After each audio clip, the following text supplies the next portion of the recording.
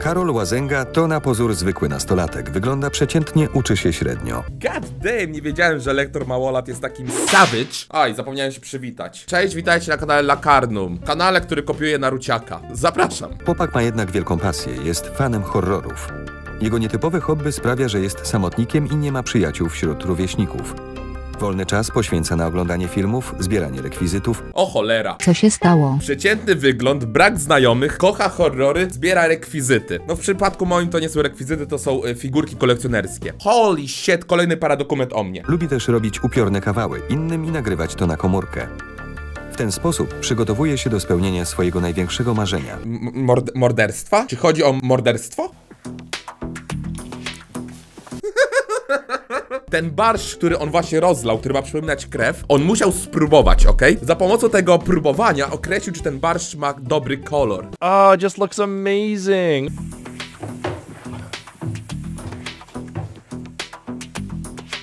Teraz będzie epicki prank. Czy on jest w ekipie Freeza, czy coś?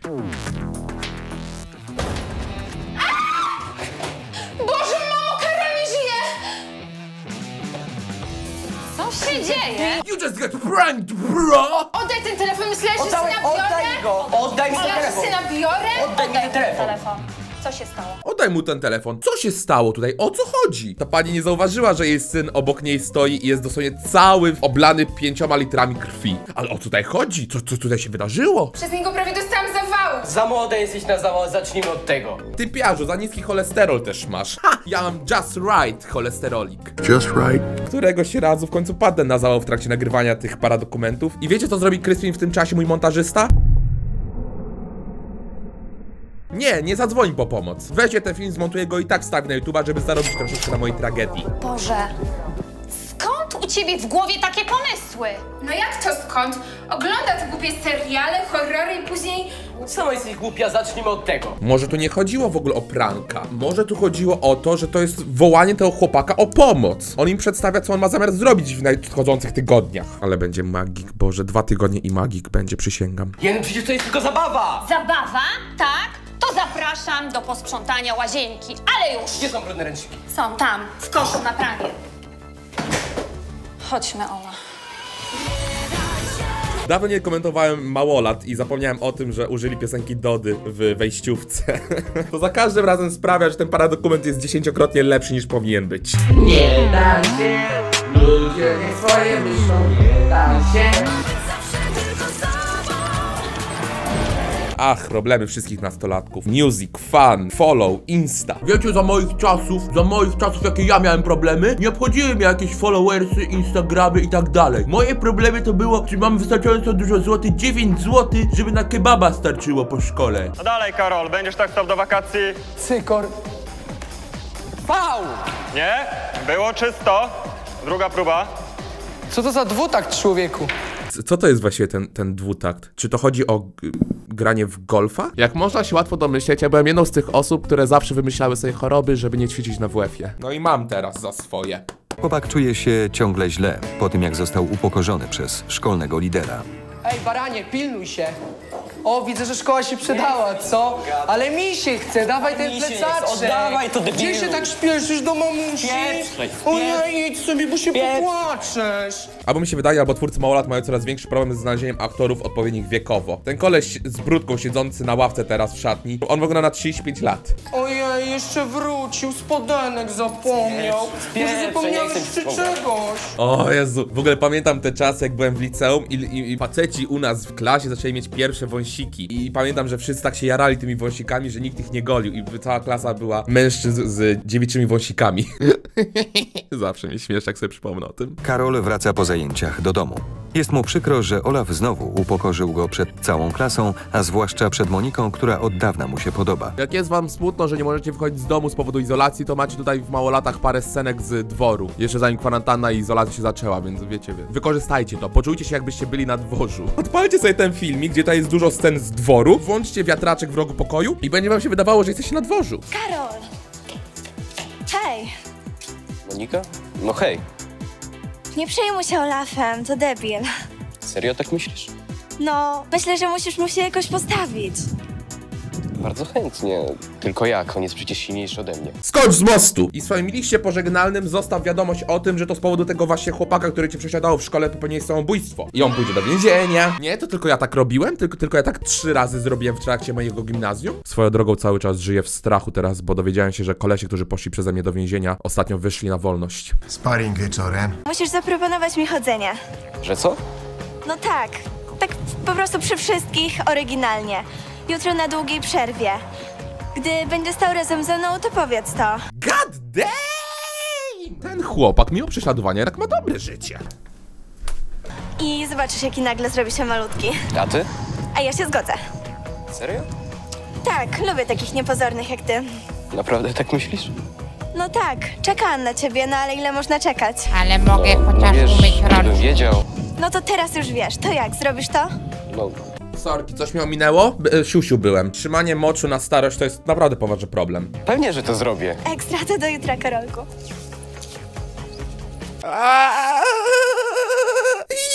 You go, girl. Znaczy, y, you go, Karol. Tak, pan już powiedział.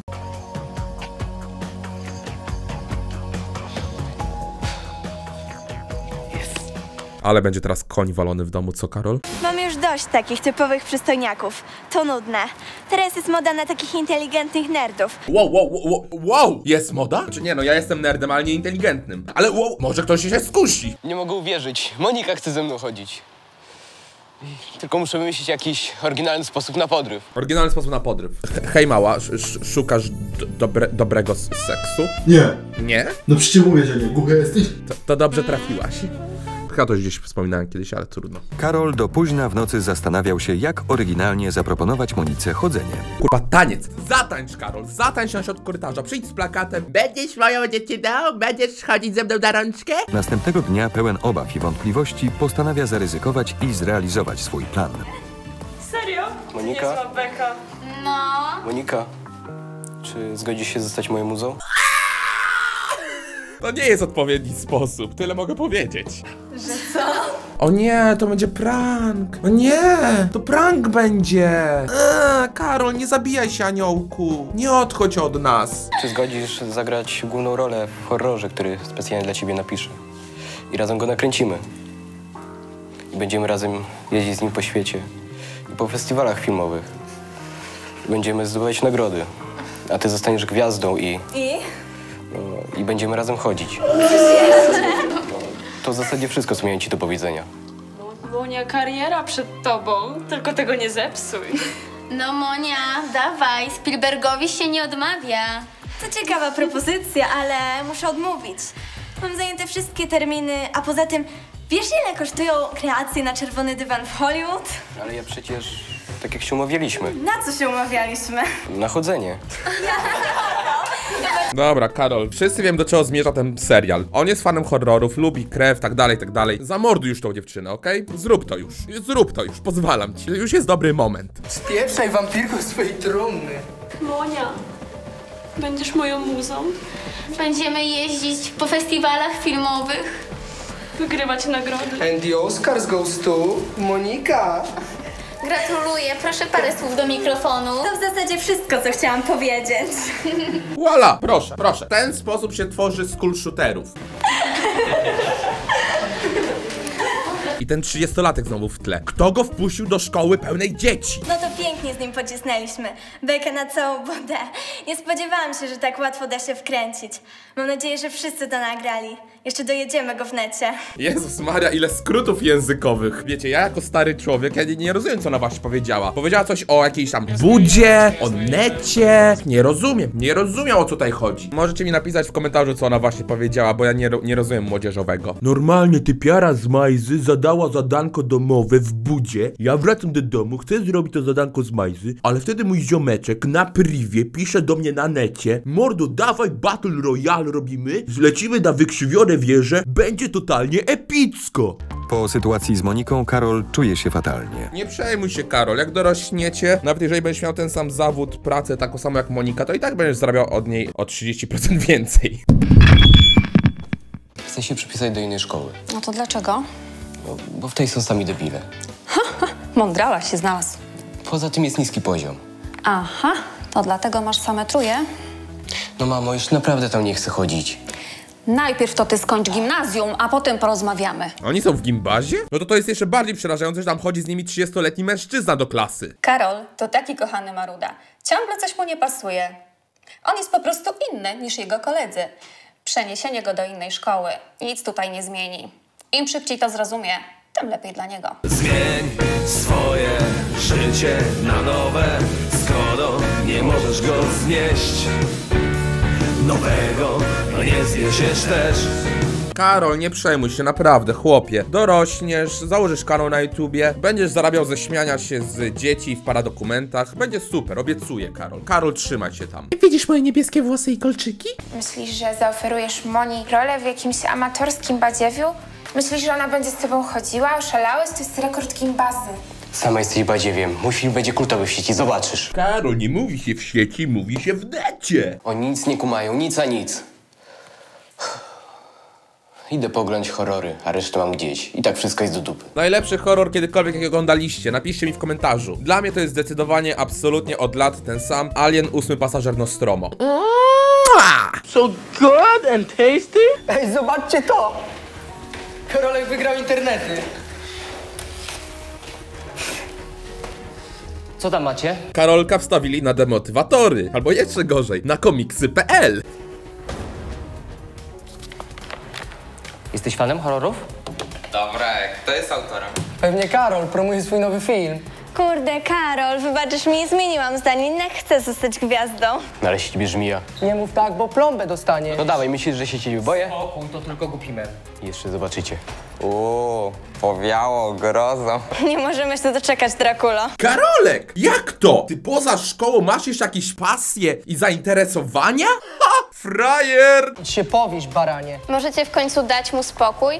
Chcecie, żeby naprawdę się powiesił? Jednego śmiecia mniej. Jezu, to, to było ostre. Je- Jednego śmiecia mniej. To było ostre, co ten koleś powiedział. Kurczę, bez przesady, spokojnie. Ej, a może ty u niego zagrasz, nadawałabyś się na trupa. A ty na prostytutkę w pornolu. O tak! Widzę, że znaleźli sobie ofiarę. Wystarczy, że chłopak się trochę wyróżnia i od razu cała grupa na niego wsiada. Muszę zareagować, bo kto wie, co przyjdzie mu do głowy. Fani horrorów lubią mroczne klimaty. Tak, tylko dlatego, że ktoś lubi horrory, oznacza, że będzie niczym Jason czy Freddy Krueger mordował ludzi. Trzeba, trzeba uważać na takich ludzi. Uuu, trzeba na nich uważać. Podczas powrotu do domu Karol rozmyśla nad kolejnym upokorzeniem, którego zaznał ze strony rówieśników. Emocje już opadły i nastolatek zamiast chęci zemsty czuje już tylko żal do kolegów i wstyd przed nowym nauczycielem. Karol? Zaczekaj. Naprawdę producenci małolat powinni zwolnić osobę, która odpowiada za casting. To, że zaangażowali chłopaka, który wygląda na ten sam wiek co Karol, jako jego nauczyciel, to to jest zły wybór. Plus dodatkowo to, że zaangażowali kolesia, który wygląda na 35 lat i ma brodę, jako jego rówieśnik. Nie wiem co, zaangażują zaraz niemowlaka jako babcię Karola? Karol, człowiek, który został mordercą. Okrutnik. A, to pan. Adam jestem. Skracam dystans. Dla mnie uczniowie to prawie jak kumple. No, to fajnie. Ale jak pan widział, w tej klasie nie mam przyjaciół. Adam mam na imię. Mieliśmy przejść na ty, tak? No, sorry Adam. No ale jakaś dziewczyna ciebie broniła, tak? Jak ona ma na imię? A, Berenika. O, no właśnie, no, no może nie jest tak źle. Jej też nikt nie lubi. Karol, Karol, znajdujesz osobę równie nielubianą jak ty w szkole i łączycie siły. Pamiętaj, małpy osobno słabe, małpy razem silne. To taka ciekawostka, jeżeli byście chcieli wiedzieć, w jaki sposób przetrwają gimnazjum. Nie każdy każdego musi lubić, tak? Czasami lepiej trzymać się na boku. No niby prawda. W sumie nie chciałbym, aby taki Olaf mnie lubi, albo Monika. Chociaż wszyscy trzymają ich strony, przez co mam przewalone. Wiesz, no psychologia grupy czasami tak bywa. No ale nie przejmuj się nimi. Teraz tak pomyślałem, że mam nadzieję, że mojego Kryspina montażystę też tak cisną w szkole. Tak go biją, tak, tak śmiesznie, tak Ty, ty, ty tam montujesz te filmy w wolnym czasie, nie? Temu, temu lekardomowi i Naruciakowi, ty, ty, ty, kurde, co ty, co ty, frajer? Jestem super. Przepraszam, y, mogę autograf? O Jezu, to Arcia. Roman!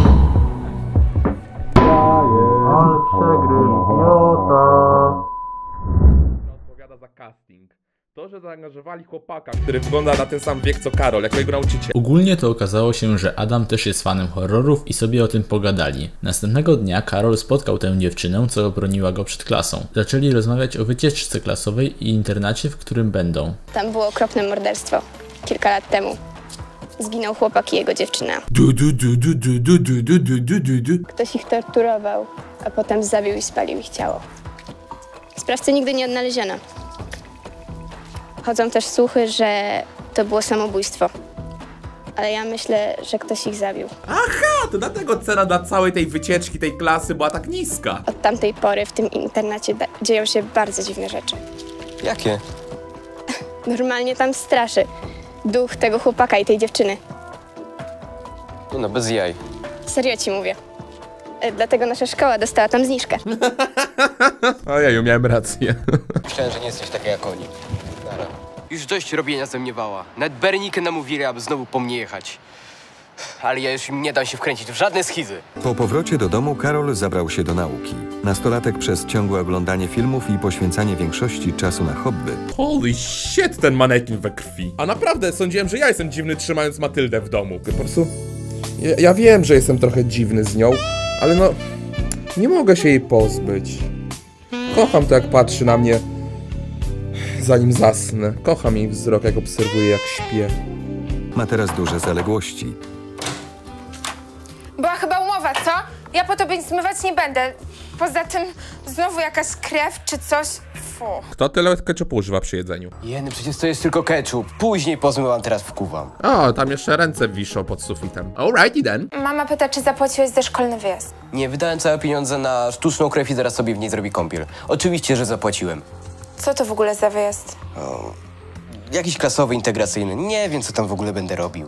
Jak to co? To co wszyscy? Walił wódę, palił papieroski. Może wreszcie sobie znajdziesz normalnego kumpla.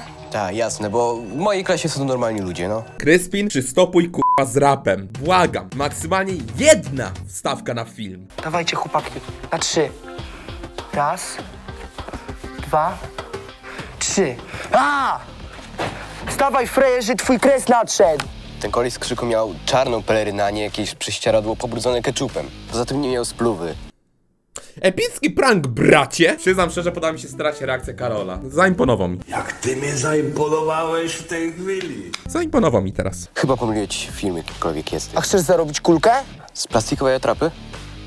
Jaki chojrak się odezwał. Olaf, daj spokój, przecież słyszę, że to ty. Epic fail! Już jutro ta scenka będzie w kompilacji na YouTubie Epic Fails. Dajcie spokój. Chodźcie lepiej do świetlicy. Jest impreza. Dobra, spieprzamy chłopaki. Ale ja tu jeszcze wrócę. Co za debile, nie? A spoko, mam ich gdzieś. Ijo, ijo, ijo, kobieta w pokoju dla chłopców. Ijo, ijo, ijo, gdzie jest nauczyciel? Gdzie jest nauczyciel, żeby to przerwać? Oni zaraz dziecko zrobią. Przyjdziesz do świetlicy? Tak, tak, tylko dokończę rozdział, okej? To fajnie. Ten Olaf naprawdę myślał, że mnie wystraszy? Nie takie rzeczy widziałem na filmach. Chyba naprawdę bardziej musi się postarać.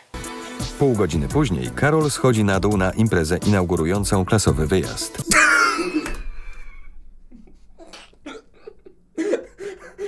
A, biali ludzie tańczący, biali ludzie tańczący. Młodzież bawi się w najlepsze.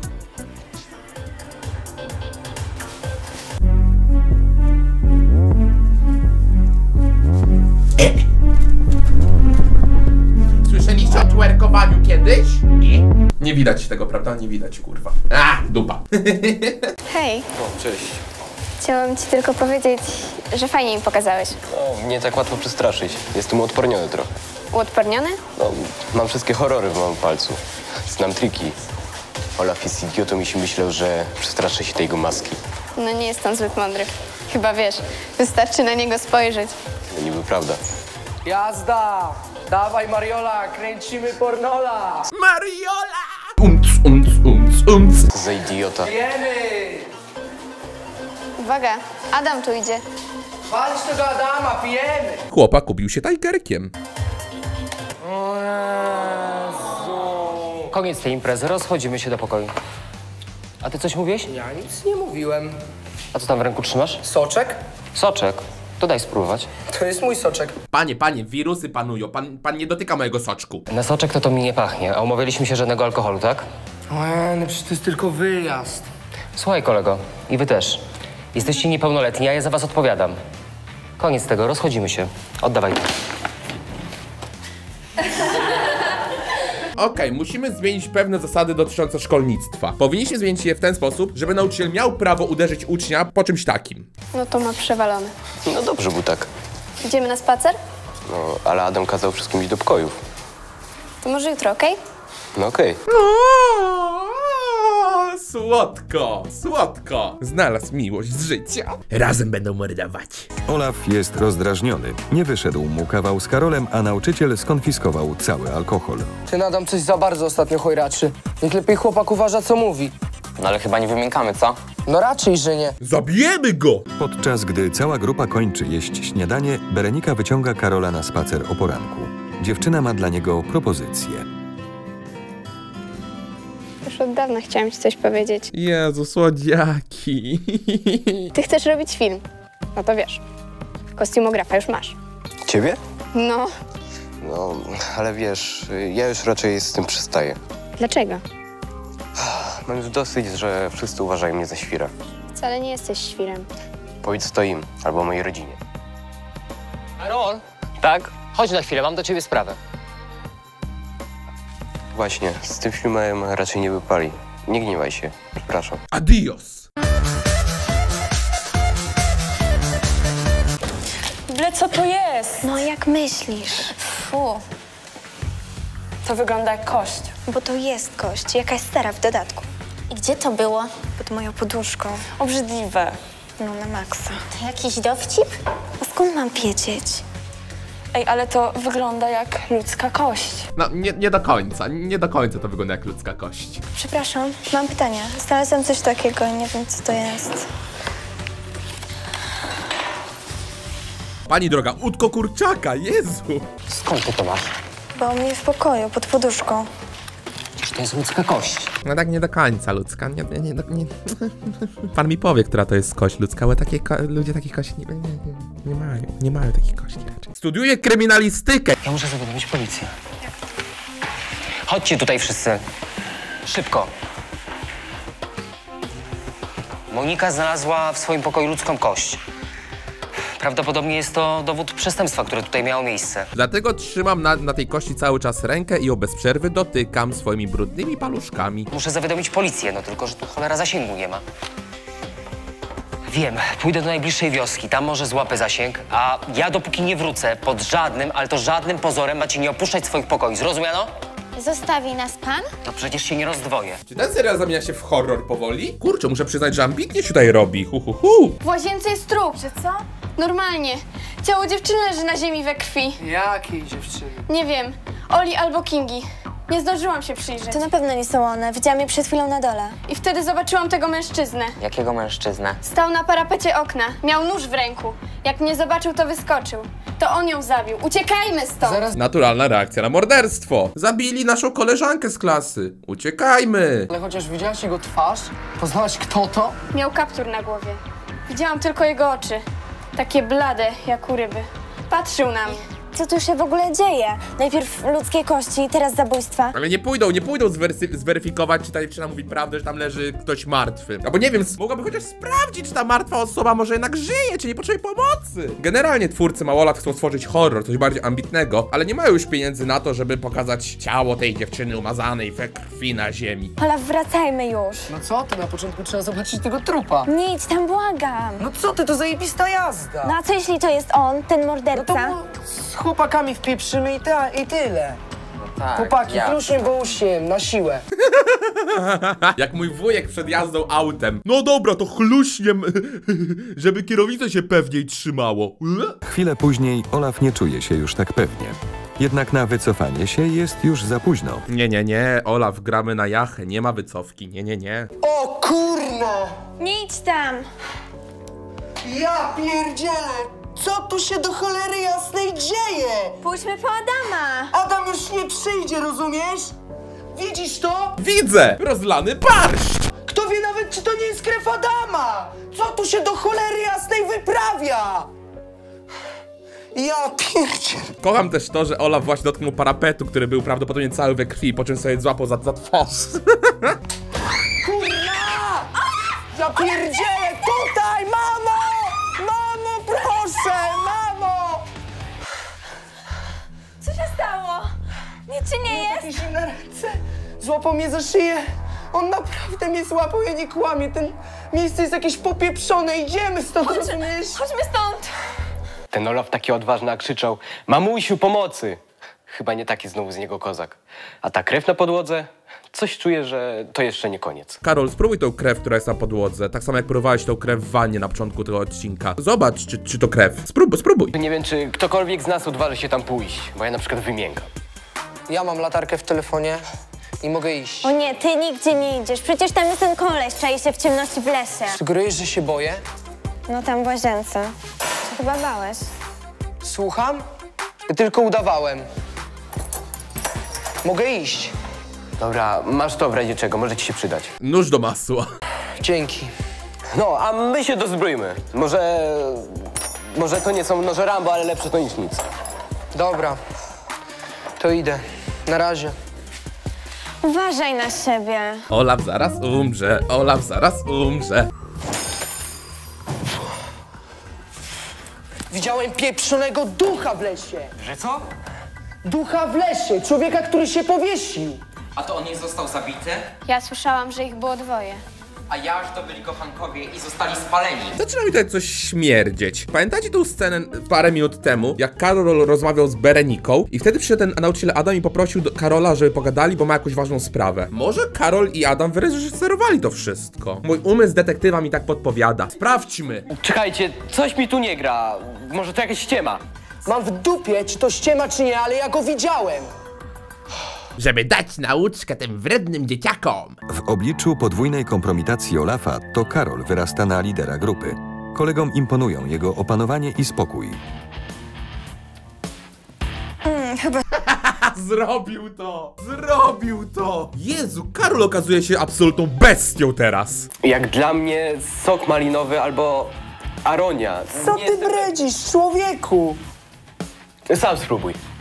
Nie jestem wampirem jak ty, nie będę tego spróbował. Tego też się boisz. Może mamusię poprosić o pomoc? Zostaw go! To na serio nie jest... Ej, to jest na serio stok. Ej, przestańcie! Słyszycie to? Co to? Chodźcie, chłopaki. Olaf!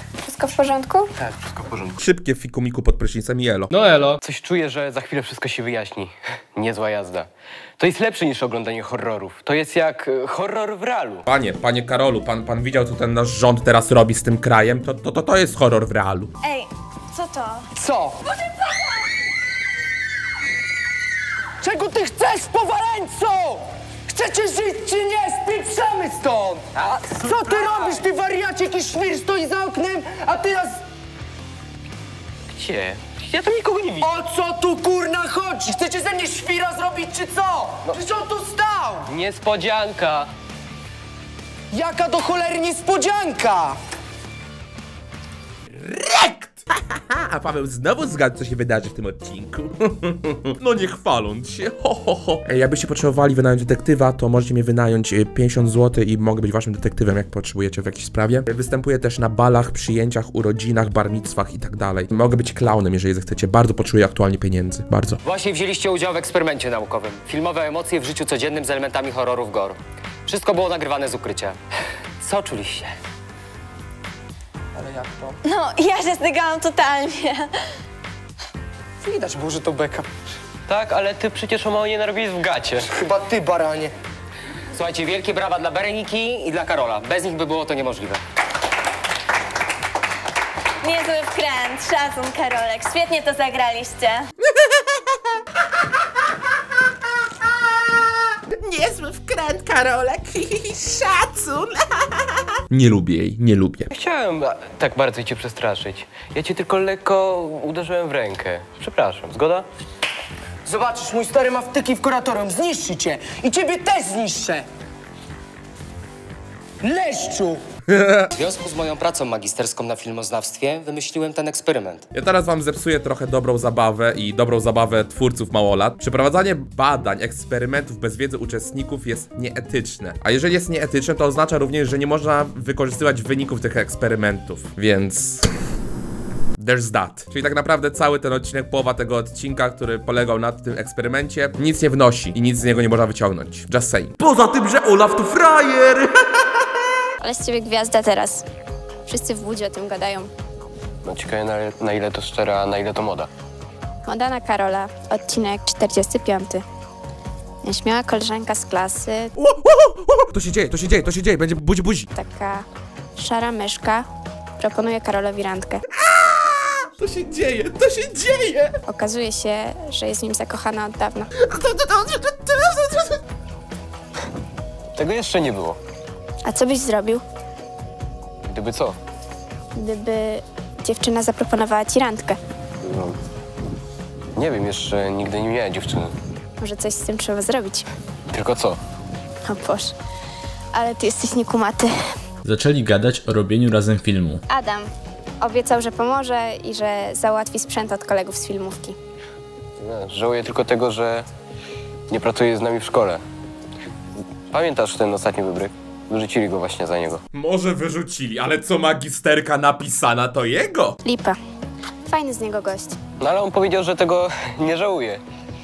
Powiedział jeszcze, że powtórzyłby to z nami drugi raz. I Że nigdy tak się nie bawił. Trochę tak, tak troszkę niebezpiecznie, jeżeli wasz nauczyciel, młody nauczyciel, bawi się doskonale, ganiając z, z siekierą grupę nastolatków. Trochę, trochę tak bym się zastanowił nad tym wszystkim. Mogę być też asystentką. Mm, Asystentką reżysera. Taką bardziej prywatną asystentką. Przemyśl to. A to a propos mody na Karolka, odcinka 45. Pa! No to było cute, to to było cute. Czy to była propozycja chodzenia? Bo ja naprawdę nie jestem kumaty w tych klimatach. Zauważyliśmy. Berenika i Karol zabierają się do pracy i kilka tygodni później scenariusz jest już gotowy. Adam dotrzymuje słowa, załatwia sprzęt i staje za kamerą. Zdjęcia do filmu ruszają pełną parą. Jedna z pierwszych scen ma miejsce w mieszkaniu Karola. I wtedy krzykniesz trzy razy, okej? Dobra. Kładź. Mamo Ola, wyjdźcie z kadru, proszę. Mama, wyjdź mi stąd! My tutaj nagrywamy Minecrafta w prawdziwym życiu! Kamera, poszła i akcja!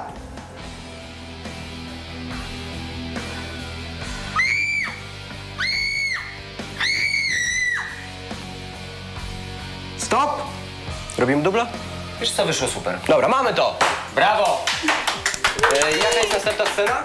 Zajrzę tylko do scenopisu, panie reżyserze. O, jeszcze buzi. Mama i siostra w końcu zrozumiały moją pasję. Berenika jest moją dziewczyną, a ja robię swój film. Jada mi pomaga. Życie jest piękne, tylko nie można się poddawać, jak coś nie wychodzi. A reszta to przecież tylko gra.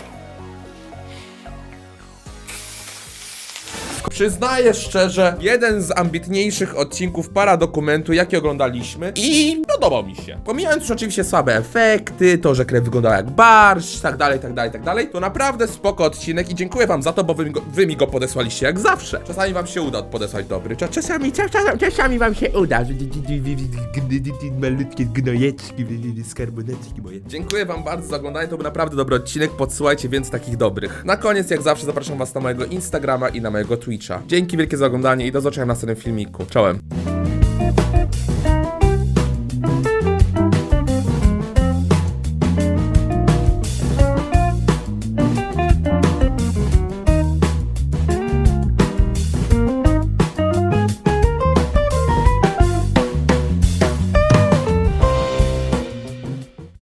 Audio się nagrywa, film się nagrywa, jaki ja mam gruby męski głos. A tylko nie głos jest gruby. Moje uda też są takie tik. Kurwa by się chciało tak rzucić je tylko, tak do mordy wsadzić.